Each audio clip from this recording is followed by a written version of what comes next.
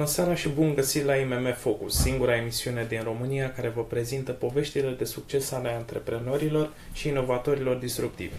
Dragi prieteni, în seara aceasta ne aflăm la setiul uneia dintre cele mai importante edituri din România, editura Nemira.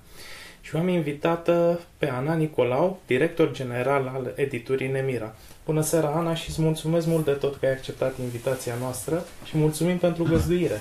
Bună seara, Andrei, mulțumesc și pentru invitație și mă bucur să vă am la noi acasă, la editură.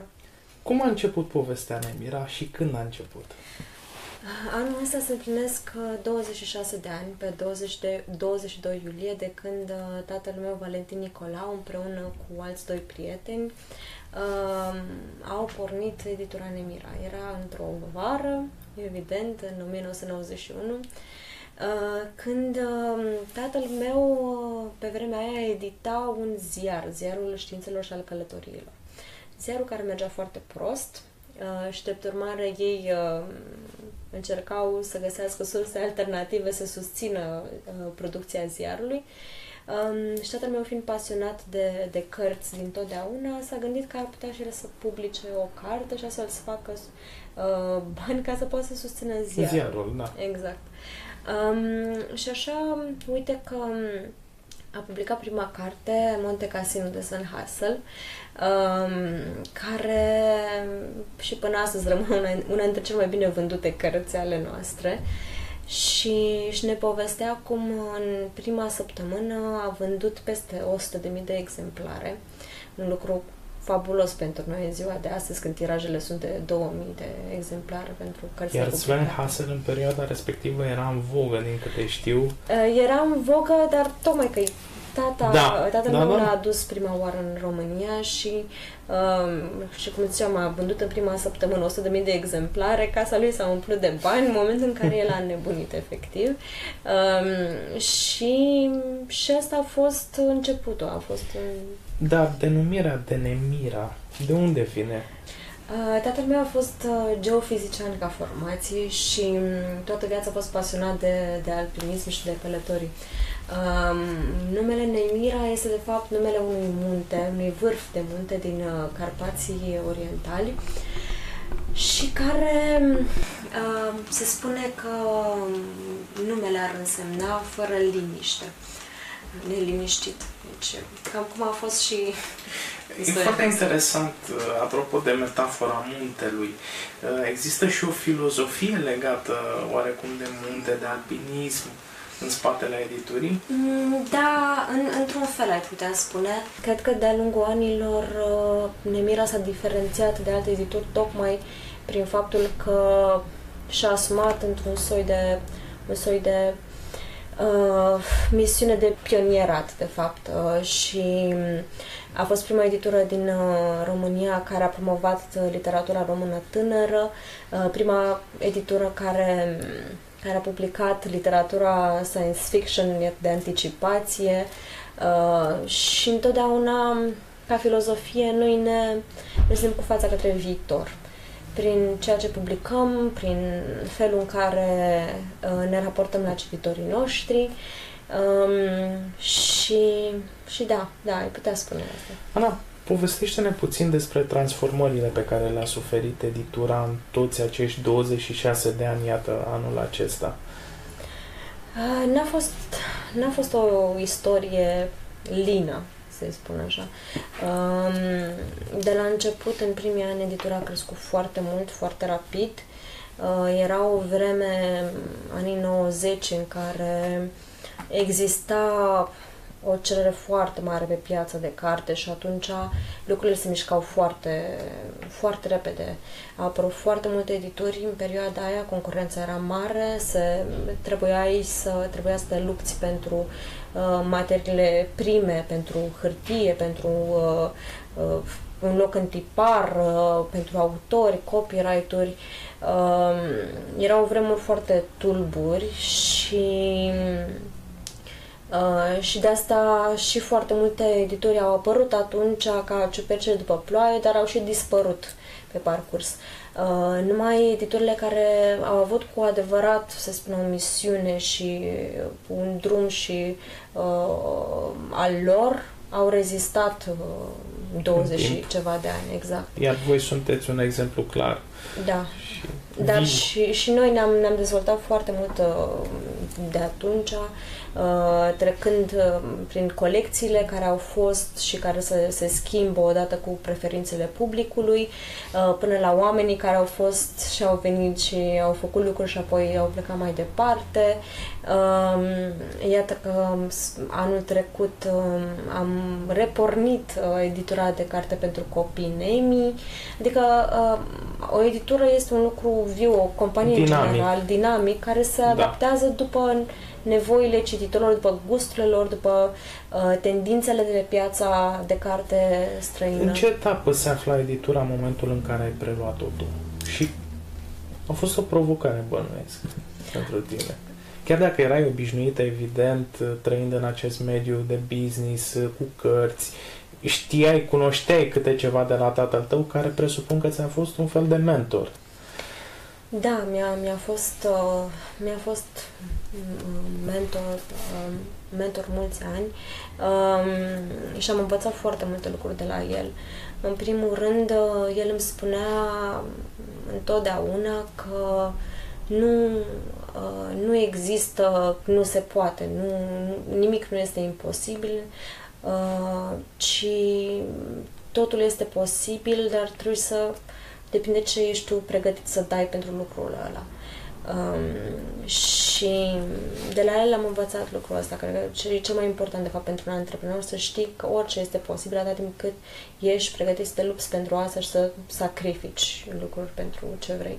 Um, și pentru mine a fost o, un drum dificil. Uh, am învățat foarte multe alături de tatăl meu, dar în același timp cred că și mai multe după ce a plecat el, pentru că numai atunci când uh, tu ești pus să, să te în dai cu... În mijlocul uh, poveștii și să te da. dai tu cu capul de tot ce apare și să știi că nu ești tu pe picioarele tale și că nu mai poți conta pe altcineva decât pe propriul tău, uh, pe propria ta putere, da. atunci e, e interesant. Cum s-a transformat literatura în uh, era asta digitală? Într-o epocă extrem de dinamică, cu foarte multă informație, nu cred că literatura s-a schimbat uh, în vreun fel în epoca digitală. Uh, cred că mai degrabă s-a schimbat felul în care noi, ca cititori, ne raportăm la cărți uh, și felul în care cititorii ajung să afle despre aceste cărți. Um, dacă ne uităm, de exemplu, Uh, la e-book-uri. Um, foarte mulți cititori acum preferă să citească în formatul digital uh, pentru că este mai comod, este uh, într-un e-reader pe care poți să-l iei în geanta, um, în cap sute mii de cărți pe care le ai la atingerea, la, da, la dispoziție. Aici, totuși te întreb, a citi o carte, până la urmă nu este un ritual să simți pagina, să simți mirosul cărții. Eu nu prefer să citesc cartea în format fizic și mulți prieteni de-ai mei la fel preferă încă această metodă clasică. Așa este, dar în același timp noțiunea de ritual uh, tinde să dispară nu numai în industria cărții, adică nu știu câți oameni mai au timp pentru ritualuri sau cât să mai gândesc la ritual. Um, și, într-adevăr, eu citesc foarte mult în format digital prin, uh, din cauza jobului, pentru că citesc foarte multe manuscrise electronice pe care nu vreau să le printez, să le citesc uh, fizic, ci le citesc pe e-readerul meu. Dar uh, eu nu simt o diferență atunci când citesc o carte, adică în concediu nu o să plec niciodată cu e asta e clar. Da. O să plec întotdeauna cu cărțile mele, chiar dacă o să am un bagaj de două ori mai greu, dar... Uh, dar nu cumva, dacă totul este atât de dinamic, nu mai avem timp de nimic, nu cumva s-a simplificat și condeiul? Temele au rămas aceleași, nu cumva sunt puțin mai simple, mai ușor de receptat, de citit? Nu nu cred, nu. Cred, cred în schimb că uh, au luat naștere, nu neapărat că au luat naștere, ci că câștigă teren teme care până acum erau văzute cumva uh, minore sau uh, minore, de fapt. Și mă refer, mă refer acum strict la uh, literatura science fiction, uh, care exact despre asta ne vorbește, despre omul uh, față în față cu tehnologia, despre ce înseamnă, ce înseamnă să fii om, ce înseamnă uh, relația om-lume, univers, A patra revoluție industrială care exact. bate la ușă. Exact. Deja acum 30-40 de ani, când citeai o carte science fiction, te gândeai la o chestie care se va întâmpla în 50 de ani, un secol. Noi deja trăim în lumea despre care scriu acum scritorii de science fiction. Uh, revoluția tehn- uh, tehnologică se întâmplă cu o viteză atât de mare încât e, acum mi se pare foarte greu să scrii de fapt un science fiction bun pentru că tehnologia va Am prinde foarte repede pasul cu tine. Uh, și dacă Clark uh, scria despre telefonul mobil care se va inventa în uh, câteva zeci de ani, acum tu poți să scrii despre următorul telefon mobil care va apărea în 5 ani. Și cartea ta, cumva, din, uh, din punct de vedere al tehnologiei, va apărea desuetă foarte repede. Uh, da. Sunt cititorii mai înclinați către zona aceasta de science fiction, povești, iată, Game of Thrones, uh, Harry Potter, la fel, a avut foarte, foarte mare succes. Micul Prinț, uh, am înțeles că a avut mare succes.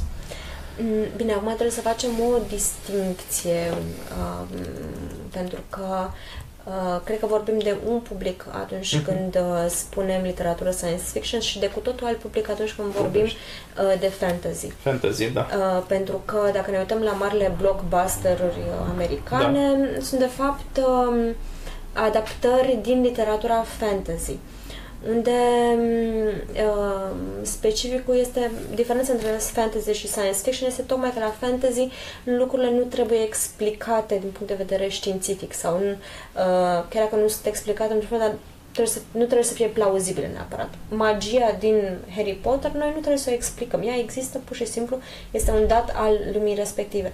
Pe când dacă uh, tehnologia pe care tu o folosești într-un roman science fiction, ea ar trebui să fie explicată într-un fel. Asta e o premisă diferită. Um, și de asta um, uh, cititorii de fantasy sunt un pic diferiți pentru că uh, aici intră și un soi de escapism, tocmai. Adică dacă cititorii de science fiction sunt interesați de tehnologie, de felul în care va, cum va arăta lumea în 10, 20, 50 de ani, 100 de ani, cititorii de fantasy se, vor să se întoarcă cumva înapoi într-un soi de uh, lume mitică. Deci... Da, e o evadare clară. Exact. Uh, are România, cultura română, acest soi de fantasy? Sunt, cunosc basmele de când eram mic. Avem o tradiție pe, pe această zonă? Um, Voi publicați astfel de povești?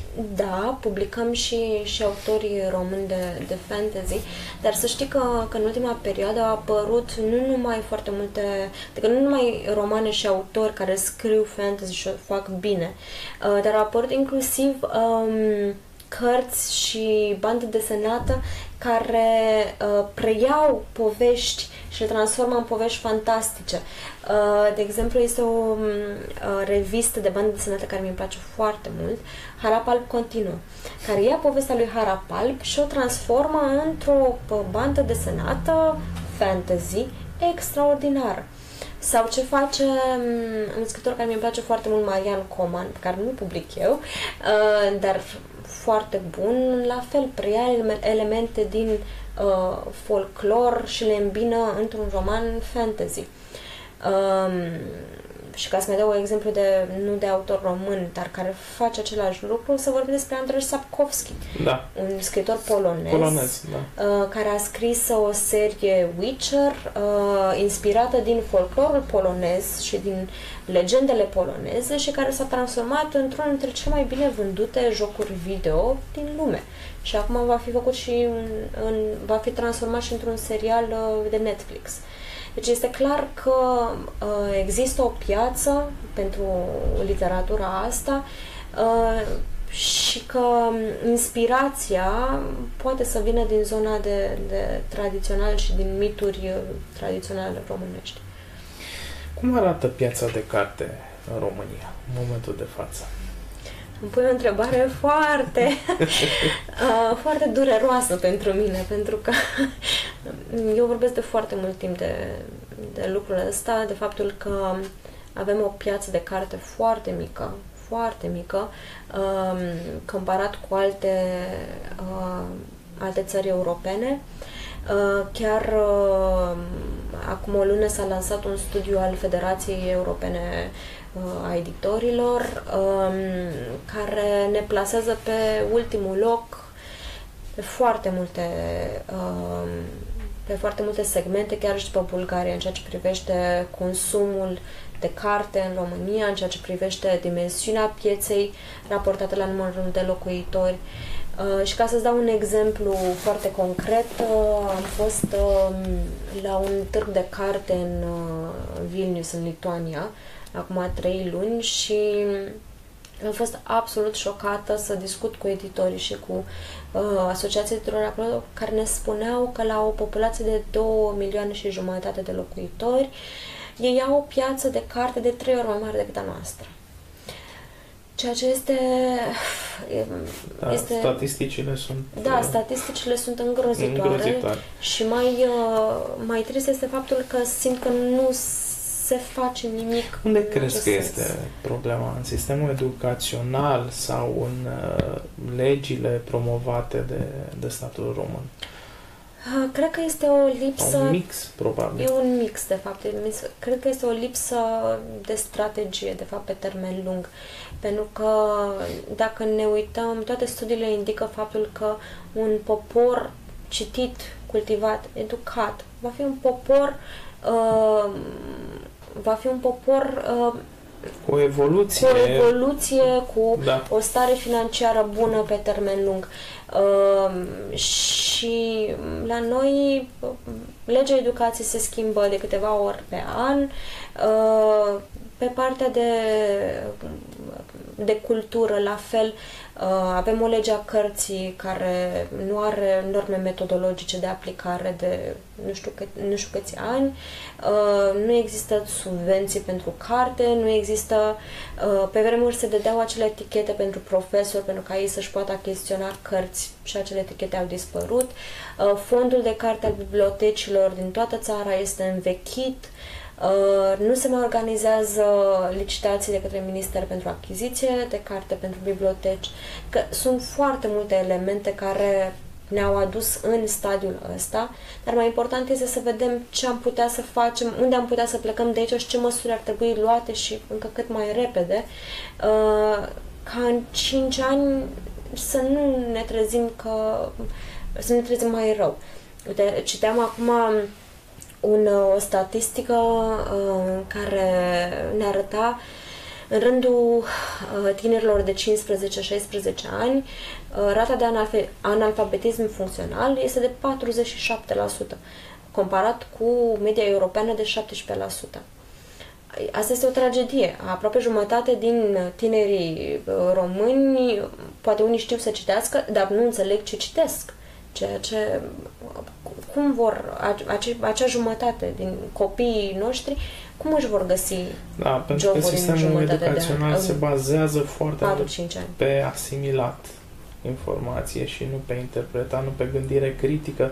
Mă uitam pe câteva studii de la World Economic Forum și spuneau că în 2020 principalele trei skills-uri sunt critical thinking, uh, rezolvarea problemelor complicate și creativitatea.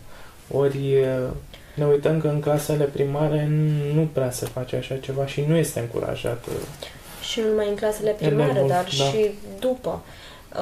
De asta spun, și ar fi și foarte greu să faci asta până la urmă. Vorbim de un sistem educațional în care profesorii sunt în continuare foarte prost plătiți, uh, de o programă care rămâne aceeași de an, aceeași de ani de zile, uh, manuale învechite, licitații pentru manuale la care mari editori nu se duc uh, din cauza corupției care există în sistem, ori în aceste condiții nu văd de unde ar veni scăparea fără niște schimbări majore. Voi, ca editură, Ați încercat să lansați o campanie pentru a promova lectura? Încă, da, de foarte multe ori.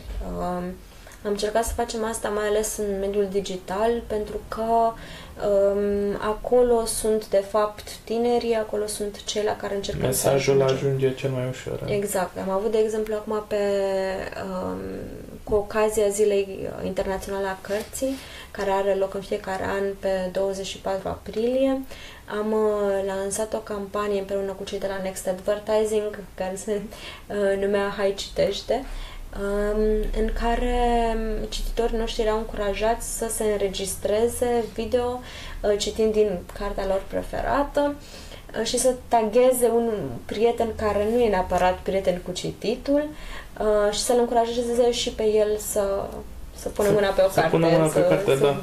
să spunem așa, prietenește. Știu că există uh, un antreprenor, am avut-o și eu în uh, studio, Sandra Cojocaru, care a lansat uh, bucleta, o, mm-hmm. o geantă dedicată cărților și chiar a creat o comunitate foarte mare pe Facebook. Citesc, deci sunt sexy. Da, suntem, suntem prieteni cu bucleta da, da. și cărțile noastre merg foarte bine în poșetele lor. Cum ar trebui să arate relația editor-scriitor?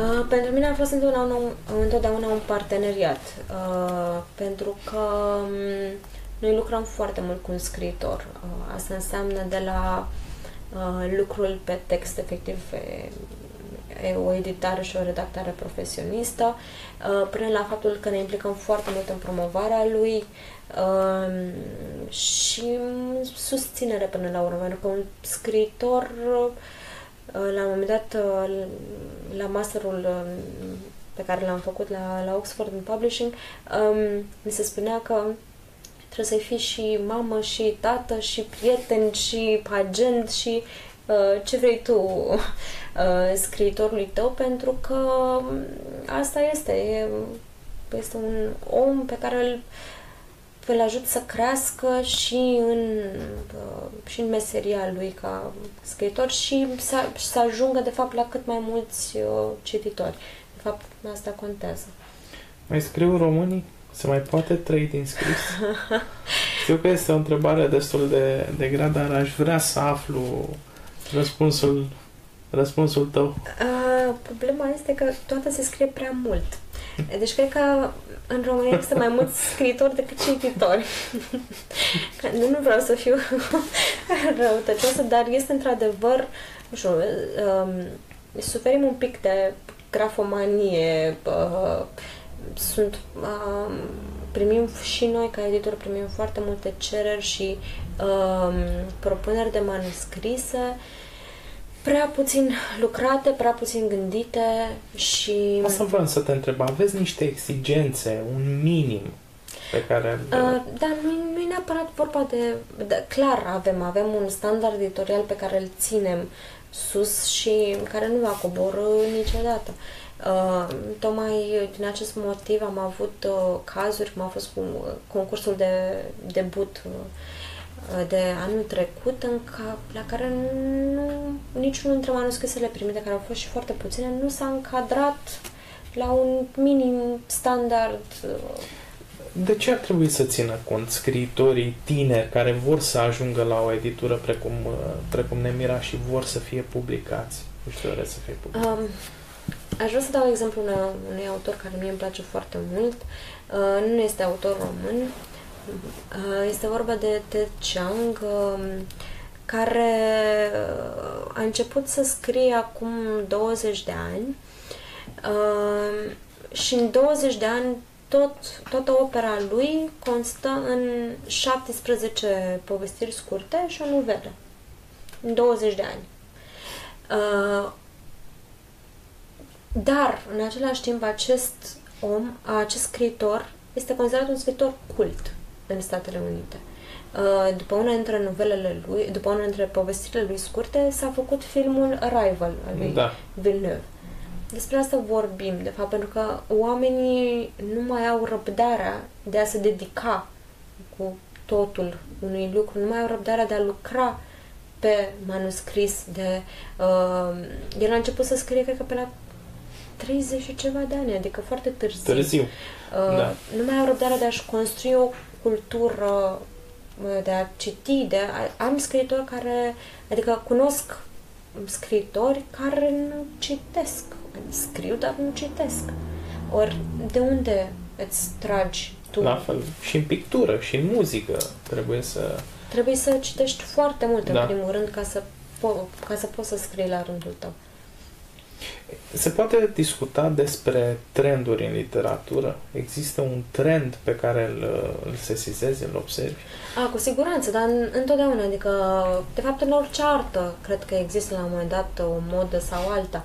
Acum câțiva ani era trendul um, uh, thrillerelor suedeze, Da. uh, după care a urmat uh, thriller, uh, moda thrillerelor cu personaje puternice, femei, uh, narato- uh, naratori unrela- unreliable, uh, cum a fost uh, fata din tren, Gone Girl.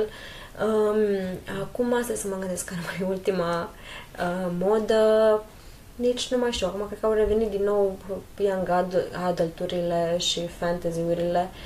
Uh, mai nou, în Young Adult, de exemplu, se pare că este o modă a uh, m- să fie narațiunea așezată într-un setting african.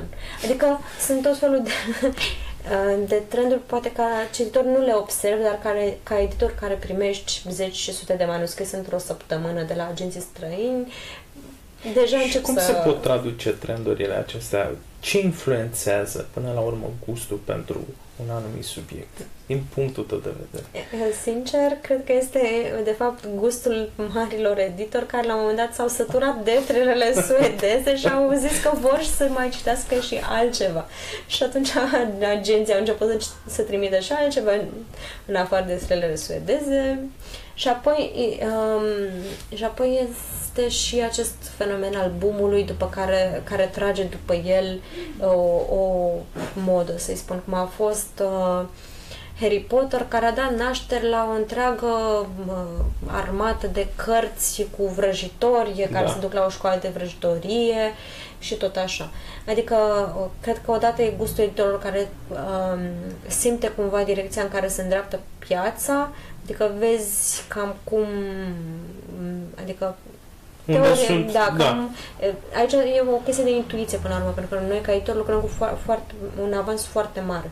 Eu lucrez am cărți care vor apărea într-un an, doi ani și atunci trebuie să intuiezi cum va fi gustul publicului într-un an sau doi ani, ceea ce e foarte dificil. Um, și apoi, într-adevăr, când vezi că există un boom atât de mare cum a fost fata din tren, să, să vorbim despre asta, uh, automat ca editor te orientezi și începi să publici ceva în acel Da. gen. Exact ce spuneai mai devreme, am văzut această modă de a scrie o carte și apoi a ecraniza sau poate, nu cred că s-a întâmplat și invers, să apară filmul, da? Și Cu apoi- excepție, să știi. Uh, adică nu vor fi mai Da. multe, dar una uh, clasică, Odiseea Spațială, Ah, da. a lui Așa este. Clark, a fost Da. mai întâi film și apoi a fost Da, scrisă, adică cartea a fost scrisă cumva în paralel după scenariu, dar uh, mai există și excepții. Care sunt cele mai uh, importante succese editoriale ale editurii Nemira? Dacă Um, știu că în 26 de ani bănuiesc că au fost foarte multe, dar uh, acum în prezent. uh, tocmai de asta mă stăm să mă gândesc în urmă. Este clar, Sven Hassel a fost și va rămâne un munte. Știu Um, și eu am colecția, toată colecția acasă. Dar în care ediție? Pentru că au Da. fost atât de multe că nici eu nu le mai Nu știu. știu. um, așa, Sven Hassel cu siguranță, apoi uh, Dune de Frank Herbert, um, Stephen King, uh, mai recent uh, să vorbim de George Martin și Vârzeala Tronurilor, uh, Jocurile Foamei de Suzanne Collins, uh, Bear Grylls cu siguranță, um, Julian Barnes, care este un scriitor, mm, unul dintre scriitorii mei favoriți și care merge foarte bine.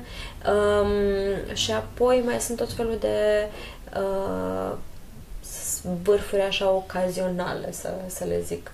Um, da, cam, cam asta a fost. uh, Se apropie și târgul de carte, este chiar săptămâna aceasta.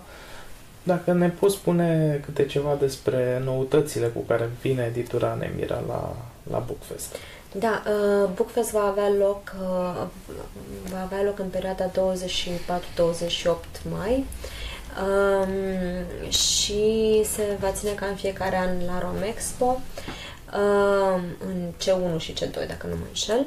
Um, va fi un, o ediție interesantă. Suedia este invitat de onoare anul acesta. Sper că nu cu thrillere. Ba da. ba da, chiar cu... Va fi și o masă rotundă pe această temă. De unde și m-am gândit mai mult la asta în ultima perioadă. Miercuri, ca de obicei, va, a fost ziua dedicată cărților pentru copii, pentru că ne apropiem, iată, de 1 iunie. Uh, noi am avut două ateliere de ilus- cu ilustratori români uh, foarte simpatici cu mulți copii uh, și peste weekend uh, vor fi o groază de lansări. Noi am pregătit foarte multe noutăți, dar nu o să vorbesc pe, despre toate pentru că n-am avea timp, am depășit cele 40 de minute. Um, evident, uh, este vorba de ultima carte lui Bear Grylls, da. Supraviețuitorii, Um, este o carte, nu știu dacă tu ai citit um, autobiografia lui. Nu. Nu? Nu am ah, citit-o. Ți-o recomand să știi. Mulțumesc uh, mult. O voi citi cu siguranță. Mie îmi place foarte mult de Bear Grylls, recunosc. Uh, asta este un volum foarte interesant în care el uh, vorbește despre um, povești absolut halucinante de, uh, de supraviețuire de la oameni care uh, au fost abandonați în deșert și au trebuit să supraviețuiască, uh, la în fine, povești cu scafandri care au rămas uh, în larg și înconjurați de pești, de, pardon, de rechini și au scăpat de acolo numai ca să fie omorâți de naziști, adică niște, niște povești reale uh, din istoria recentă, dar absolut, nu știu, pentru mine a fost un roman, așa, un, o carte foarte motivațională într-un fel, ca să vezi ce înseamnă puterea uh, voinței și adică eu aș preda la un curs, nu știu, cred curs că pentru antreprenori. Cred că se predau astfel de cursuri și știu că Bergres a fost invitat de foarte multe companii să țină astfel de, de speech-uri. Uh, da, chiar e o carte pe care ți-o recomand. Un alt uh, scriitor despre care am vorbit mai devreme este Ted Chiang, um, Povestea vieții tale. Uh, un scriitor uh, american de origine chineză, scriitor teoretic de, fante- de science fiction, uh, dar care pentru mine este unul dintre cei mai buni scriitori de short stories contemporan. Um, și foarte neobișnuit, de fapt, pentru un scriitor de science fiction, pentru că mare parte din po- povestile lui se petrec undeva în trecut, pe vremea Vechiului Testament, când religia este, de fapt, transparentă și tu poți să vezi atunci când te binecuvântează Dumnezeu uh, și să vezi îngerii cum vin și coboară și când ai făcut un păcat, uh, în fine. Foarte interesant. Da, este... Uh, și asta spuneam mai devreme, că lucrează foarte mult pe, pe mhm. povestirile lui și se vede asta pentru că ajunge la o profunzime și în același timp are un, o chestie atât de umană și de... Este un scriitor pe care l-aș recomanda or, oricui. Um, o altă carte care mie mi-e foarte dragă uh, este Aventurile lui Sasha în Castelul Fermecat de Iulian Tănase. Um, este o carte de copii de la editura Nemi cu ilustrații de Alexia Utriște. Uh, și că tot vorbeam mai devreme despre imaginație și despre curiozitate și da. școala din ziua de astăzi, e bine, asta este o carte care uh, tocmai despre asta ne, ne povestește de, de, de uh, importanța imaginației și de puterea imaginației, de fapt. Este povestea lui unui copil care, de ziua lui când împlinește patru ani, Sasha, Uh, și imaginează împreună cu tatăl lui uh, cum uh, apartamentul lor obișnuit din București se transformă într-un castel fermecat, masa devine o casă cu patru picioare, scaunele sunt vulpi, creioanele se transformă în mici șerpișori, dar cu probleme de scleroză. Chiar este o carte cu foarte mult umor, pe care și uh, care vorbește foarte mult exact despre asta, despre puterea poveștilor și imaginației. Până la extrem de utilă pentru copii, pentru că, exact cum ai punctat, dezvoltă creativitatea, măcar plantează o sămânță de... Da, tocmai pentru că Iulian Tănase, autorul, uh, um, el ține de obicei și cursuri de creative writing pentru mm-hmm. copii.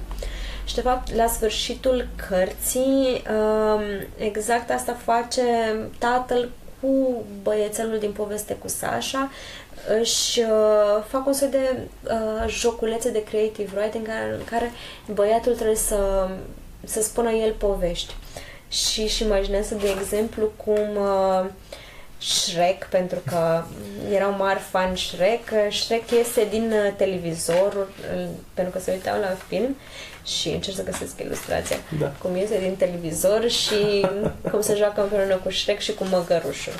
Da, o carte superbă. Îl putem întâlni pe Iulian la târg? Va veni să-și prezinte cartea? Da, uh, lansarea va avea loc uh, sâmbătă uh, la ora 3 la standul editurii Nemira uh, împreună cu autorul, bineînțeles, cu Sasha, care este chiar fiul autorului uh, și cu uh, ilustratoarea Alexia Udriște. Vă așteptăm cu drag. Ana, acum uh, că ne apropiem de finalul emisiunii, te voi întreba despre proiectele de viitor ale editurii Nemira. Ce uh. pregătiți în perioada următoare? O, Doamne, deci nici, nici nu știu de unde să încep.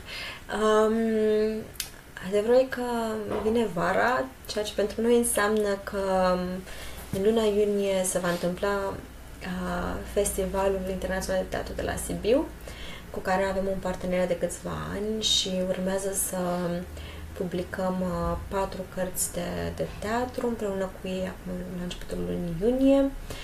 Uh, după care așteptăm cu mare interes uh, festivalul Enescu uh, din septembrie, uh, pentru care pregătim uh, uh, colecția completă a uh, cărților din povești din pădurea muzicală, Cristina Andone, care uh, tocmai a publicat acum la noi uh, Enescu și Cora Razelor de Soare.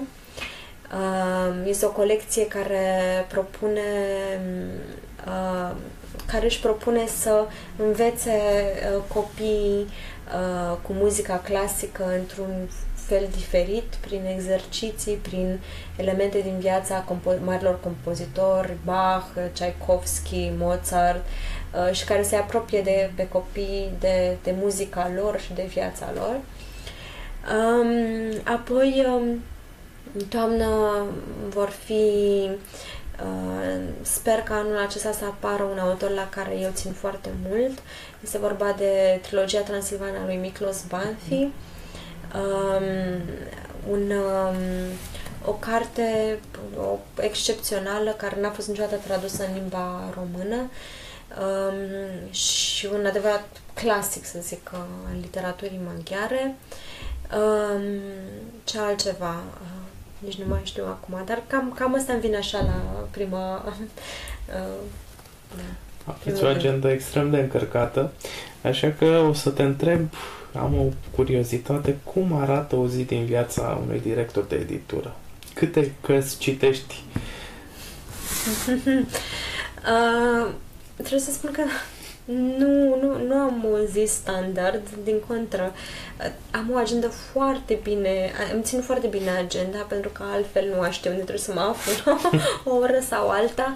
Um, dar e clar, mai degrabă știu așa săptămână, adică știu că încep săptămâna cu ședințe, cu vânzările, cu redacția, cu după care urmează mijlocul săptămânii cu întâlniri cu autorii, cu proiecte, pe proiecte, pe diverse diverse uh, și la sfârșitul săptămânii, de fapt atunci vine perioada mea de citit manuscrise, vinerea mi-o, mi-o blochez întotdeauna, cu mici excepții, uh, și vinerea este ziua mea de citit manuscrise, pentru că în timpul săptămânii mm, citesc mai mult pentru mine, adică nu neapărat pentru, pentru birou, uh, dar vinerea este ziua de manuscrise în care citesc vreo 5, 5 manuscrise, 3, 4, 5 manuscrise, depinde de de caz, da. foarte interesantă și extrem de aglomerată. Da, și pe lângă asta se adaugă foarte multe evenimente ale noastre și ale partenerilor, adică serile în general sunt blocate cu tot felul. Încerc și eu, încerc, mi-am propus de anul acesta măcar o seară pe săptămână să-mi las pentru uh, mers la teatru, concert, uh, Celelalte arte. celelalte arte, exact. În încheiere am să te rog să transmiți mesajul tău, o invitație la lectură pentru internauți și telespectatorii noștri. Ah, nici nu știu ce, ce, aș, ce aș putea să le spun celor care nu citesc, mai degrabă că mie îmi place foarte mult uh, de George Martin și el are o vorbă foarte bună. Um, oamenii care nu citesc trăiesc o singură viață. Uh, cititorii trăiesc câteva mii. Și cred că despre asta e vorba. Mulțumim mult de tot că ai acceptat invitația noastră Mulțumesc și eu. mulțumim pentru găzduire. Cu mare drag și vă mai aștept. Cu această invitație la lectură vă spun uh, weekend plăcut și vă aștept și data viitoare la IMM Focus. O seară bună!